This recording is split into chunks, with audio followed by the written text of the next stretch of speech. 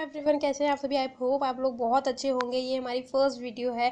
तो प्लीज़ हमें सब करें वीडियो को बहुत सारा लाइक करें अच्छे अच्छे कमेंट्स करें और चैनल को प्लीज़ सब्सक्राइब करें। ये देखिए, बहुत अच्छी तरीके से मैं आपके लिए वीडियो लेके आई हूँ। मैंने दो जो पेटीकोट है वो पहने हुए हैं इस पर मैं थर्ड वेयर कर रही हूँ। और ये काफ़ी अच्छा आपको बिल्कुल कैंकन स्कर्ट वाला लुक देने वाला है। वो भी बिना पैसे खर्च किए हुए।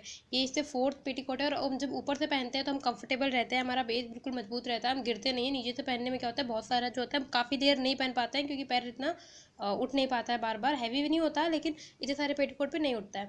और क्या हम अगर एक भी पहनते हैं तो हमारा बैलेंस ख़राब हो जाता है, लेकिन अगर हम ऊपर से पहनते हैं तो बहुत सही रहता है, हमारा बैलेंस बिल्कुल ठीक रहता है। हम पतले हों, चाहे मोटे हों, गिरते नहीं है प्रॉब्लम बिल्कुल नहीं आती है वरना स्लिप होने का बहुत डर रहता है। तो आप जितने भी पेटीकोट पहने, हमेशा ऊपर से पहने तो वो बहुत ज़्यादा बेस्ट रहता है। ये सेवन लेयर पेटीकोट है, बहुत ही खूबसूरत लगेगा। आप इस पर साड़ी पहनिए, आप इस पर अपने जो लहंगे को आप लहंगे के अंदर इसे पहन सकते हैं फ्रॉक सूट होता है उसके अंदर पहन सकते हैं, उसको गाउन जो फ्रॉक सूट का कलर है, उसके नीचे वाला पेटीकोट उसी कलर का पहनेंगे तो वो बिल्कुल फ्लोरेस गाउन बन जाएगा, आपका जो कि बहुत खूबसूरत लगने वाला है और आप अपने गाउन के नीचे भी पहन सकते हैं इसे और जो आपके लहंगे हैं और जो हल्के लहंगे होते हैं, उसमें भी पहन सकते हैं। बहुत अच्छा लगने वाला है, बहुत बेस्ट है ये समर विंटर दोनों में आप इसे पहन सकते हैं। बहुत बेस्ट है कंफर्टेबल लुक है और आपको बिना पैसा खर्चा किए कैनकन स्कर्ट वाला लुक देने वाला है। बहुत ही हाई वॉल्यूम देगा, बहुत ज़्यादा पफनेस देगा, इस पर आप साड़ी भी पहनेंगे। एक अलग ही बहुत ही ब्यूटीफुल सा बन के रेडी हो जाएगा। तो प्लीज़ हमारे चैनल को सब्सक्राइब करें वीडियो को लाइक, शेयर, कमेंट करें हमें सपोर्ट करें। प्लीज़ हमारी फ़र्स्ट वीडियो तो प्लीज़ हमें सपोर्ट करें और हमारा हौसला बढ़ाएँ और हम ऐसी अच्छी अच्छी वीडियो आपके लिए लाते रहेंगे जो आपके लिए बहुत यूज़फुल होगा। Thanks for watching.